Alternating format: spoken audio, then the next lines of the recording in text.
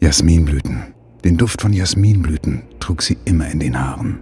Wenn Biene Meier im Fernsehen lief, hat unsere Lina immer zu der Melodie getanzt. Sie hatte ein so schönes Lächeln. Wenn es mir nicht gut ging, hat sie mich aufgemuntert. Vanessa und, und ihr ich Lächeln haben hat mich wirklich getröstet. Fast bei jeder Ich fühlte mich richtig Als Kinder oben. haben wir Aber solche umso Rabauken. mehr gelacht. Ich erinnere mich an die Zeit, wo wir, Wenn wir nachts gemeinsam immer rausgeschlichen haben. Mein sind, Onkel schlief Haben gerne wir mit nach dem Essen Socken. so ein Chaos Geduld war einfach nicht seine Stärke. hatte. Er wurde Er hibbelig sehr und dann lief er immer leicht rot kann mich an. noch erinnern. Wir haben uns als Prinzessinnen verstanden. Papa hat mich immer geführt.